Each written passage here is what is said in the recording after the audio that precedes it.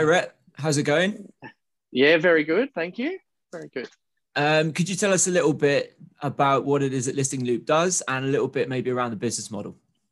Yeah, absolutely. So, I guess Listing Loop, we primarily focus, we're a marketplace for pre market and off market properties. So, for those who are wondering what pre market, off market properties, our definition, definition is a pre market property is a property that is listed for sale. So, there's been a real estate agent appointed the authority has been signed to sell the property. And typically there is a 7, 14, even up to a 21 day gap here in Australia where a property is being prepared for market. And that includes photography, floor plans, videos, signboards, you know, copy for the ad to get it online, etc. Now that's valuable time you can actually sell a property, especially for a real estate agent that they can transact, especially when the property has matched the right buyers. So that's a sort of definition of pre-market. Off market properties is a market that's always existed. It's typically um, very much driven from previously from sellers that are usually high net worth, celebrities, um, people that really just demand like a discreet selling uh, selling process. It could be someone going through a, a, divorce where they don't want all their neighbors and friends knowing that they're selling. They want to be able to quietly move on to the next property that they're looking to buy without everyone or without all the bells and whistles. So um, but you know, pre-market, off-market, we've we've centralized it. We've made it easier for consumers to access it. We've made a platform for agents to be able to discreetly but widely at the same time um, advertise those properties under those you know conditions that those sellers are looking for. Okay, um, and I guess the the business model is uh, the same. Well, the same as you guys. You pay to list. The vendor pays to list, or is that, is that correct?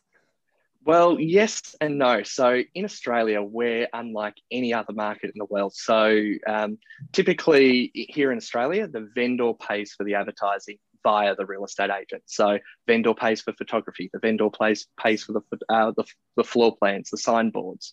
Um, they even pay for the the online ads, you know, through the major portals. And it's very very expensive. In fact, we're actually here in Australia the most expensive market in the world per capita to advertise property properties online. So some listings costs in a major portal, depending on what package an agent is on, could be up to $5,000 for a 45 to 60 day listing. Massive. And that's not on success. So when it came to develop Listing Loop, everything we did was like, how can we do it differently? I didn't want to be known as what we call a, a Me three or a Me four portal. So uh, you know, I think most people watching this uh, this this video will be able to, uh, you know, um, will understand that we've got realestate.com as the number one market in, you know, marketplace in the country for real estate, and then followed by Domain. Both of those are substantial businesses, but one thing they focus on, as opposed to us, they focus on on on market listings. So the market, the listings that are widely available, where we focus on the off market.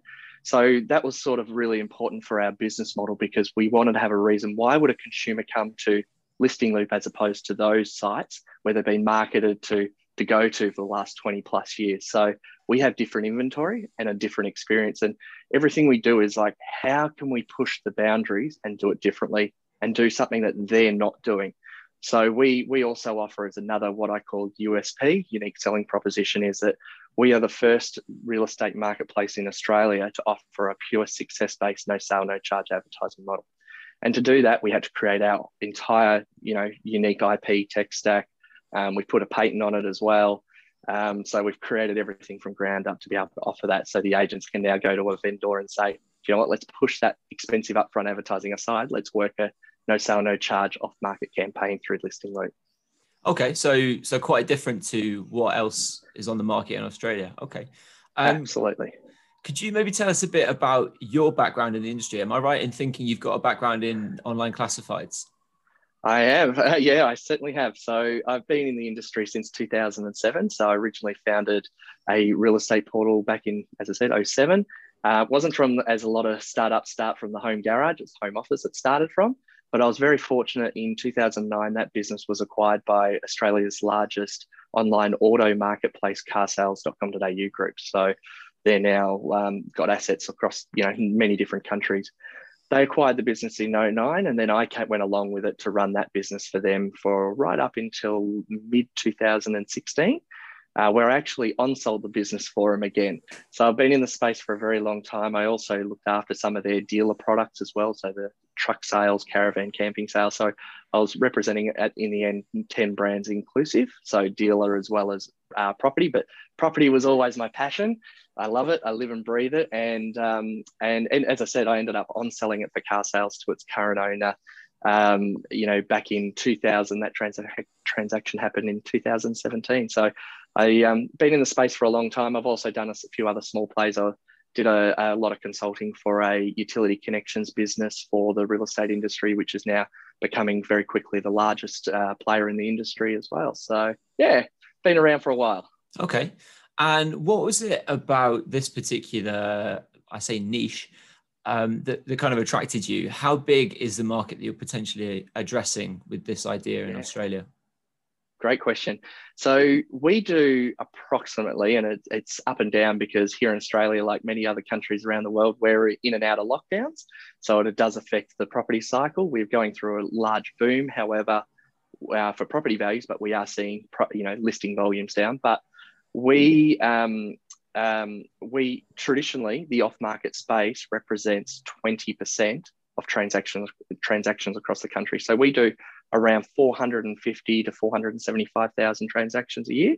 So we're talking nearly 90, 100,000 transactions are done pre-market off market, but no one had an easy to access, you know, platform or marketplace for consumers to access them. Prior to us, a consumer, a buyer would have to go and knock on the doors of all the real estate agencies. So if there was 10 in the local area that they were after, they would have to go and ask, you know, can you add me to the database? Can you let me know when a property like this comes on the market because I want to buy it first before everyone else, etc. So it's a very clunky system. So we've centralized that. We've put everything behind login. So we're still protecting the agent and the seller's data. So if there's ever any price changes or any information to do with that listing, you won't find it out in Google because it's all behind login. For a consumer to access any of the listings, they have to do two steps uh, of verification with an email address as well as a, a, valid mobile phone or cell phone for those overseas um, as well. So, and then we obviously get the details. But what that also allows us is to understand who our users and consumers and buyers are. We know, so we have a really deep understanding knowing who they are, what type of property they're looking for, their frequency of engagement in certain types of properties.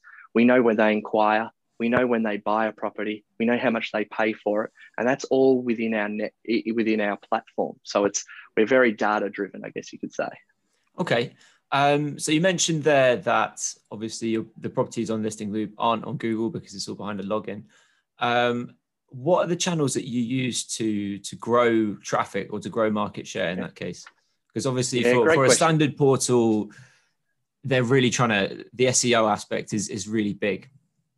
Yeah, correct. So um, yeah, SEO is actually a hard one for us because everything's behind login, so you can't obviously um, create specific property profile pages. So we have to find other ways to acquire it.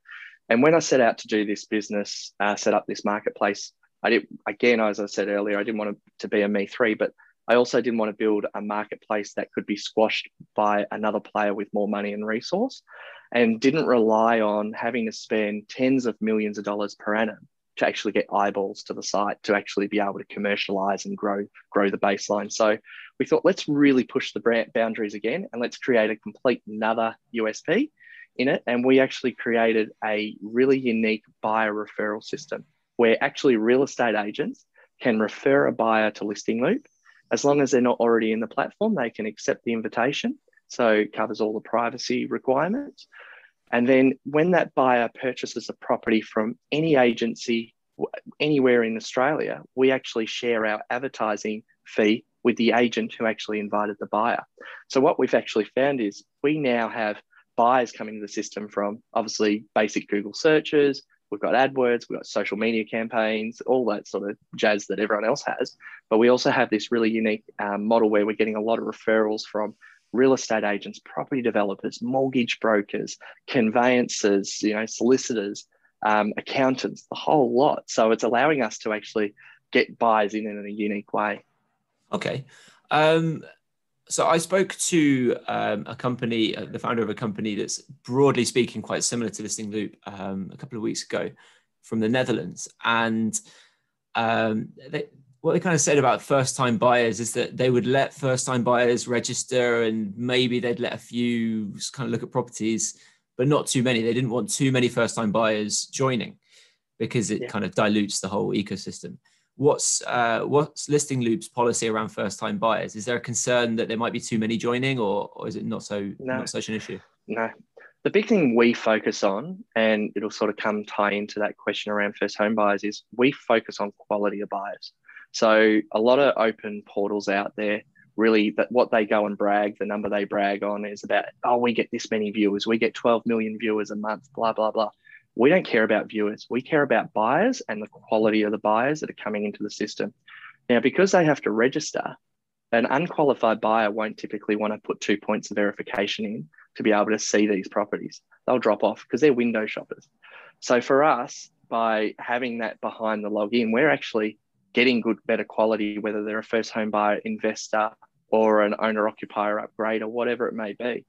But there's no at this stage, as at where our business cycle is, there's no exact split on you know what's higher or not. So we've done many many surveys and data collection about you know what type of buyers are purchasing properties. But at the moment, because of all the COVID and lockdowns that we're experiencing across Australia, it's it's up and down. So at the moment, there is a huge boom for first home buyers because there's very large, substantial government grants helping first home buyers get into the market. So for us, you know, an, any agent or seller, they're happy to sell to a first home buyer because at the end of the day, money's really cheap here in Australia. We've got interest rates around two percent, unheard of. You know, so it's it's really cheap. So people are now paying a hundred or two hundred thousand dollars more because the weekly payments or the monthly payments aren't that much because the interest rates are so low. Okay. Um, and what has the reaction of agents been to to your business model? I would imagine that they're they're keen to promote anything that kind of um, greases the wheels of the system and improves transaction numbers. Would that be fair to say? Correct. Oh, absolutely. But also because coming back to the very early comment I made about the cost of advertising here in Australia, you know, agents, what we've found is over the years, agents' commissions and the percentages that they're charging is actually dropping here in Australia. But what's increasing is the cost of advertising, which is mostly driven from the major portals. So what we've found is because when they're going into appraise a home and talk to a vendor, you know, depending on the skill set of the agent, they can't advertise, they can't negotiate the cost of advertising because the cost of advertising might be ten thousand dollars combined. They can't they can't afford it because that has to be paid to the supplier. But one thing they can negotiate on is their commission. So because they've got no movement on on the on the advertising, what happens is the commission gets dropped or and so forth. So we're actually protecting the agent's commission by coming out with a, a pure no sale, no charge model, but also we're the flip of again of another a traditional portal where a traditional portal you you know a user has to have has to discover a property where with listing loop we're actually about matching it's about putting relevant properties in front of the relevant buyers as fast as possible with FOMO. So it's the opposite. We again, it's we're looking at the norm, going, okay, you've got a lot of a lot of mainstream portals out there. They've got a lot of them have got great features. How can we do it very, very different in every way? Okay. Um, kind of on that theme, uh, a lot of property portals that I've spoken to around the world, a lot of people who know about property portals, kind of see the quality of lead as the new big challenge in the industry. People can brag about traffic and they can brag about number of leads, and that's what they are doing. And the quality is being diluted. So, with that in mind, um, do you think that we'll maybe see more real estate marketplaces around the world where users have to register to see listings simply because there are so many window shoppers who give time wasting leads 100% without a doubt and because we make them register we've created a full ai framework so we can start to sort of understand through their movements and predictive search and uh, other things we can understand what type of users are using you know uh, in our site and so forth and get a better quality lead and then use also third party data matching. Are they finance approved? Are they not? Oh, okay, this is a high quality buyer. You can't do that when they're just on an open portal without behind login because all you've got, you're basing it on is sort of traffic data. So it's, it's a lot more challenging. So I think whilst it is harder to get a registered buyer into a system to look at a property, the reward down the pathway is, is much greater And we've really found that through Listing Loop's more so in the last 18 months. So we're seeing like in, in last 12 months, we're seeing nearly a thousand percent. And it's a big number, a thousand percent, thousand percent growth in registered buyers. And that's because we've now started to perfect how it's happening. Like, and we didn't we didn't get it right when we launched, like any other startup, constantly reviewing, you know, where are you getting drop-offs in sign-ups and you know, colors of buttons like everyone else. But we've we've really got that right. And what we also do is we go one step further with our no sale, no charge advertising model. We back ourselves. And people, I've had people in many interviews go, You're crazy. What are you doing this for? You, you, should, you might be losing revenue for your business. But we, a property might sell on our platform, but we still have to deliver a minimum 15 leads to the agent for us to get paid our fee.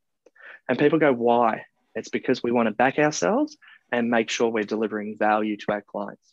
Because if we're not delivering value to our clients, yes, we can get an ad up online, but they won't stick around. They won't continue to pay us. They won't continue to put listings on. We'll just become another, oh, that portal gave it a go. So we're here for the long term to build a sustainable, like a very large sustainable business. And that's why we, we're seriously about backing ourselves with those leads. Okay.